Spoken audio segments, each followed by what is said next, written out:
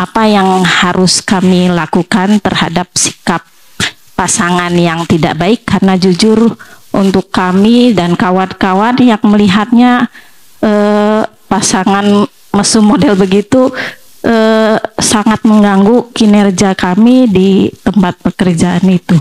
Terima kasih Bu ya. Assalamualaikum warahmatullahi wabarakatuh. Yang pertama dan utama di saat kita melihat hal yang semacam itu adalah di hati kita harus ada ingkar Sebab bahaya sekali kalau yang demikian itu menjadi sebuah kebiasaan. Naudzubillah. Kebiasaan yang tidak baik di kantor. Sehingga sudah naudzubillah. Sudah bukan kebiasaan islami lagi.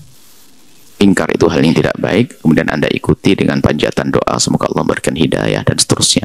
Sehingga panjatan doa dan ingkar anda ini paling paling penting jadi paling pertama dan utama akan menjadi benteng bagi anda untuk tidak terjerumus dalam kejadian